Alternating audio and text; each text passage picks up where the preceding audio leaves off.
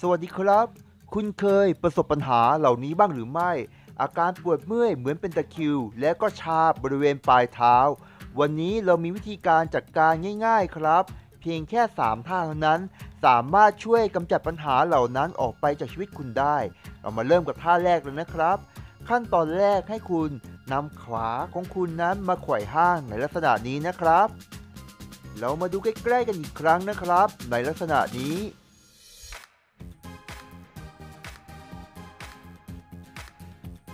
หลังจากนั้นให้คุณวางมือไว้ที่ข้อขาครับ แล้วก็ยก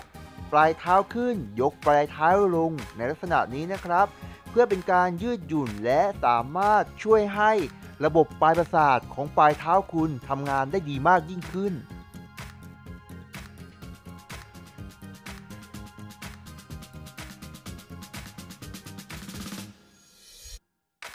ำหรับท่านี้นะครับจะเป็นท่าที่สามารถช่วยแก้อาการตะคิวเหน็บชาทางด้านปลายเท้า และสามารถช่วยยืดเส้นยืดกล้ามเนื้อ คลายปวดเมื่อยได้อีกด้วยครับ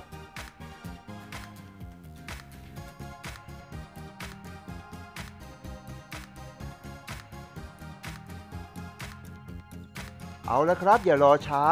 เรามาออกกำลังกายพร้อมกันเลยดีกว่า ข้างละ 10 ครั้ง ข้างซ้าย 10 ครั้ง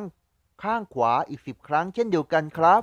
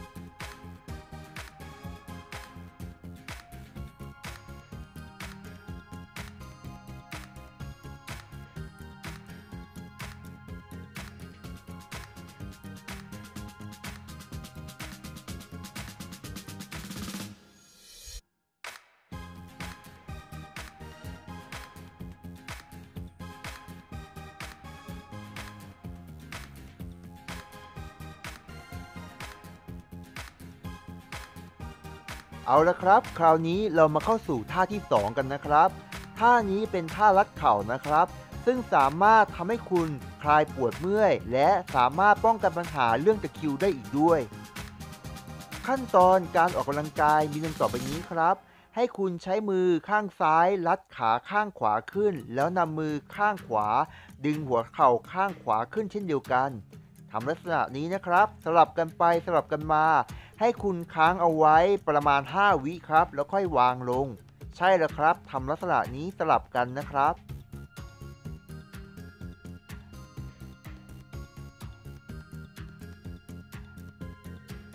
ท่านี้เป็นท่าออกกำลังกายในรูปแบบท่ากายบริหารครับ สามารถช่วยบรรเทาอาการปวดเมื่อยเน็บชา ตะคิว และสามารถช่วยป้องกันทางด้านอาการอักเสบของการออกกำลังกายได้อีกด้วย